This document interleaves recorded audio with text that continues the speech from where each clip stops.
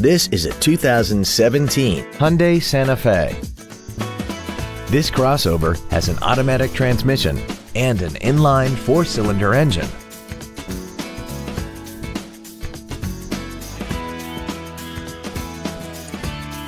All of the following features are included. Traction control and stability control systems, hill descent control, heated side view mirrors, a low tire pressure indicator, speed sensitive volume controls, and a trip odometer.